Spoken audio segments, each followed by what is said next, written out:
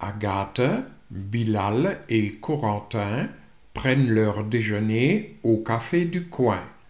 Agathe a commandé un café, deux croissants et un jus de fruits pour 15 euros. Bilal a commandé deux cafés, un croissant et deux jus de fruits pour 21 euros. Corentin a commandé un café, un croissant et un jus de fruits. Quel est le prix de sa commande en euros? Appelons X le prix d'un café, Y le prix d'un croissant et Z le prix d'un jus de fruits. Voici les commandes d'Agathe 1, 2, 1 et elle a payé 15 euros.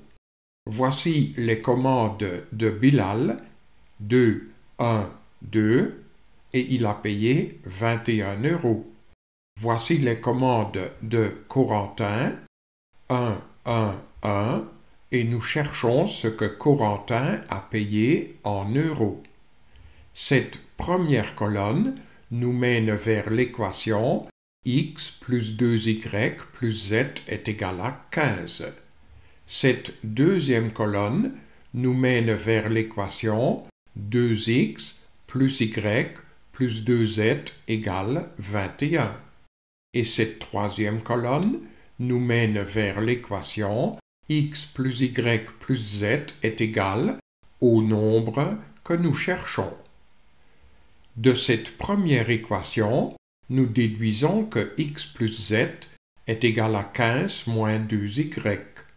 De cette deuxième équation, nous déduisons que x plus z est égal à 21 moins y sur 2. Et par conséquent, cette différence doit être égale à cette fraction.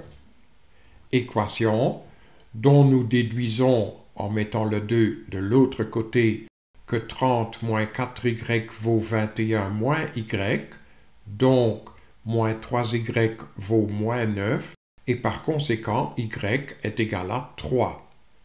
Donc, dans cette équation-là, nous pouvons remplacer le y par 3, et ainsi nous obtenons que x plus z est égal à 15 moins 6, c'est-à-dire 9.